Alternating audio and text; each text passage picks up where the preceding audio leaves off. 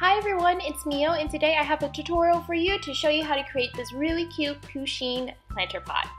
I've seen many individuals get the official Pusheen mystery box and got this really cute Pusheen planter pot and I really loved it so much that I wanted to create my own. This planter pot is so easy to create and you can put all sorts of different types of plants inside your planter pot.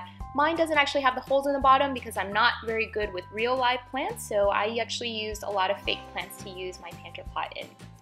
This planter pot makes a great gift for any Pusheen lover, and if you want to use it to decorate your home environment, such as your desk or your home office, I think this makes a wonderful item.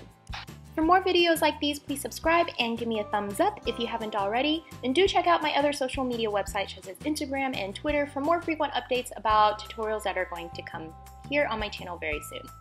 You're going to start off with some air drying clay. I bought this air drying clay at Daiso, which is a $1.50 Japanese store. They're very cheap. You can buy the Crayola version. It's just a piece of clay that air dries and it's very, very lightweight and very affordable.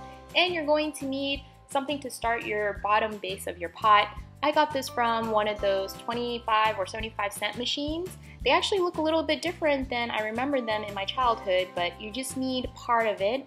I got the bottom part, but you can use the top part if you want, and I'm just gonna cut off the rim just to make it a little more even and round. If cutting off the rim is too hard for you, that's fine. You can just cover it up with clay. It's not a big deal.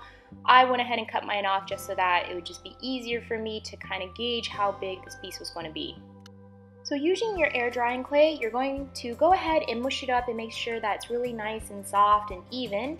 And go ahead and cover the bottom plastic piece of your little 75 cent toy machine thing and cover it up very, very evenly. I also covered the inside of the pot, but if you actually want to put a real plant inside it, it's probably best that you don't fill it inside, just so that it's more practical that way. And if you have some really uneven spots like I do on my little Pusheen planter pot, you can smooth it out using some water. Water really helps smooth out air drying clay, and this is what my planter pot looks like so far. Let's start by adding some of Pusheen's details. So I'm going to start by creating its cute little ears. So I just take some air drying clay, shaped them into triangles, and stuck them on top. And I really wanted to blend it in. So all I did was put a little bit of water and just keep blending away over and over again. And eventually you'll make a very seamless transition into the planter plot like so.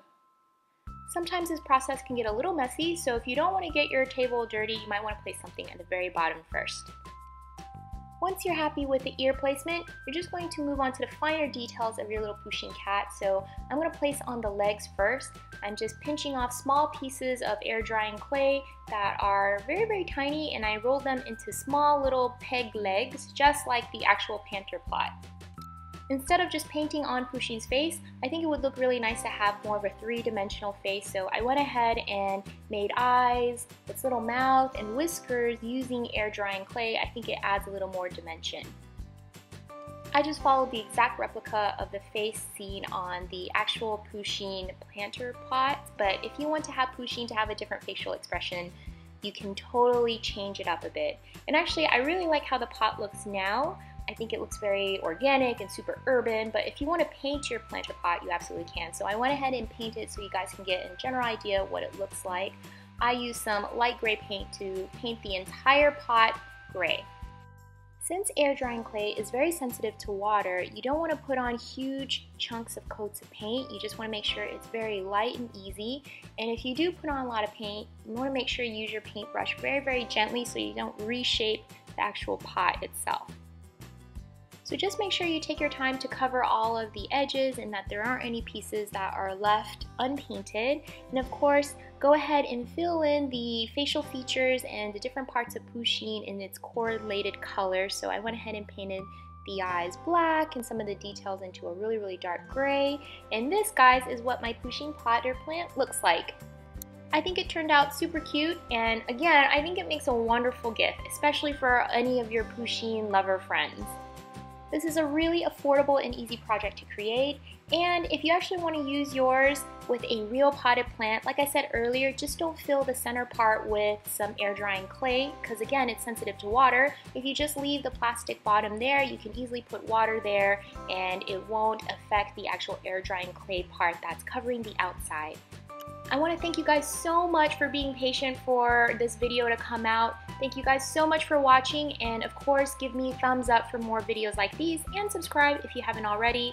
Do remember to check out my social media websites such as Instagram and Twitter for more updates and I'll see you guys really soon.